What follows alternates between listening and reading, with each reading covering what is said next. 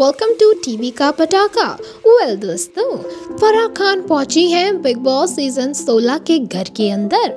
Weekend के वार के दौरान सेलिब्रेट हो रहा है फैमिली वीक और ऐसे में दोस्तों, आपको बता दें कि फराह खान लेकर आई हैं प्रियंका चाहर चौधरी की किस्मत को खोलने की चाबी। जी हाँ फराह खान ने ऑफ़र किया है बॉलीवुड प्रोजेक्ट प्रियंका चाहर चौधरी को। जी हाँ क्या है ये पूरी खबर? बताएँगे आपको सब कुछ पूरे विस्तार से। लेकिन उससे पहले चैनल को आप ज़रूर सब्सक्राइब करें, बेल आइकन को दबाना अब बिल्कुल ना भूलें।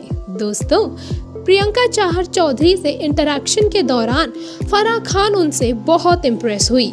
जब फराह खान बिग बॉस के घर के अंदर आई, सलमान से बातचीत की तो ऐसे में उन्होंने बताया कि प्रियंका चाहर चौधरी मुझे बिग बॉस के घर की दीपिका पादुकोण लगती है।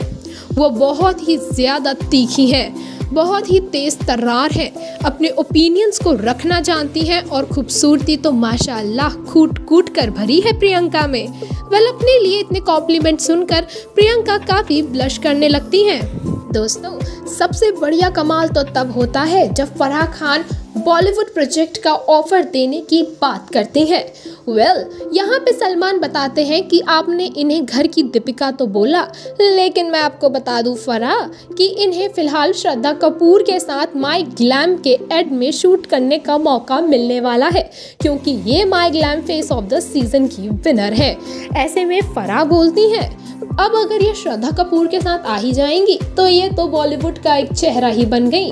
फरहा ने बोला कि प्रियंका घर के बाहर आकर मुझसे ज़रूर मिलना। मैं तुम्हारे साथ एक फ़िल्म करना चाहती हूँ। मेरे पास तुम्हारे लिए बहुत बड़ी अपॉर्चुनिटी है। वेल दोस्तों, फिर क्या था? प्रियंका फूली नहीं समाई। उसने थैंक यू कहा और बहुत ज़्यादा खुश हो गई।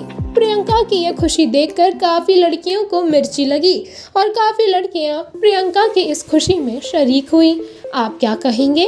हमें अपने व्यूज़ कमेंट करके ज़रूर बताएँ। वीडियो को लाइक और शेयर करना अपना भूलें।